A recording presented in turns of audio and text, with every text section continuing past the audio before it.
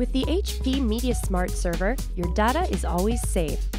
Every computer in your home or office is automatically backed up as often as you choose, and important files stored on the server are protected against hard drive failure.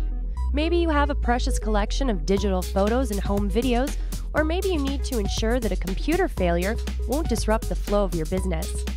In this lesson, we'll look at automatic backups and learn how to recover your files when there's a problem. We'll also see how the HP MediaSmart Server protects your data with folder duplication technology. When you add a new computer to your network, backups are enabled automatically. By default, the computer will be backed up daily between midnight and 6 a.m. But you can also choose to manually back up your computer at any time by right clicking on the home server icon in the system tray and choosing Backup Now. Double-click the HP Media Smart Server icon on your desktop. Select the Tools tab and choose Home Server Console.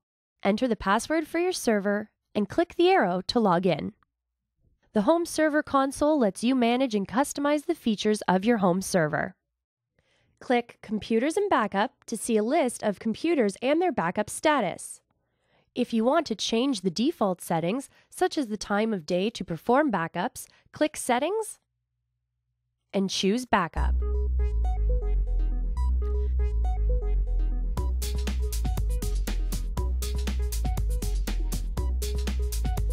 The HP Media Smart Server makes it easy to recover a file from an old backup. This can be useful if a file is accidentally deleted, saved over, or becomes corrupted. To recover a file, choose a computer and click the View Backups button. Choose a backup from the list and click Open. The opening backup window will appear. This may take a few minutes. During that time, you may be prompted to restart your computer. If this happens, just choose Restart Later. You now see a copy of the computer's hard drive as it was on the day of the backup. Navigate to the files you want to recover and drag them onto your desktop.